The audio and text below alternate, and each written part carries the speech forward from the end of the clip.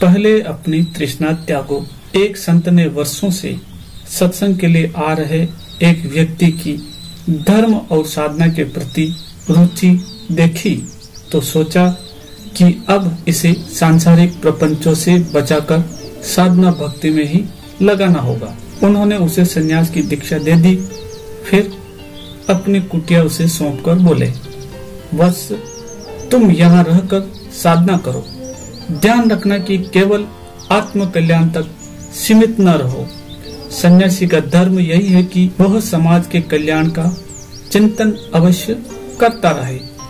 यह कहकर संत धर्म प्रचार के लिए निकल पड़े। कुछ वर्ष बाद वह उस क्षेत्र में पुनः आए तो सोचा कि शिष्य सन्यासी से मिलना चाहिए।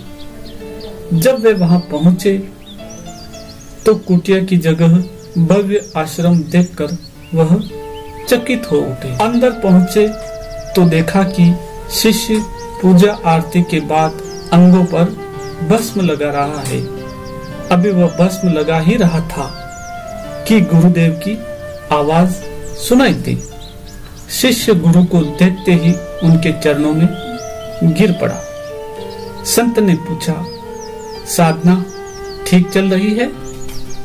शिष्य ने कहा, गुरुदेव, साधना में विघ्न पड़ गया है।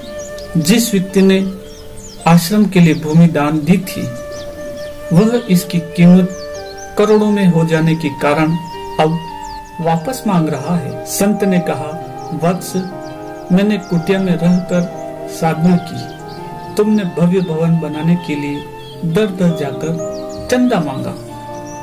क्या कभी तुमने अपने अंदर झाँक कर देखा? कि भव्य भवन बनाकर महाधिपति बनने की तृष्णा तुम में क्यों पैदा हो रही है? गुरु के वचनों ने शिष्य का विवेक जागृत कर दिया।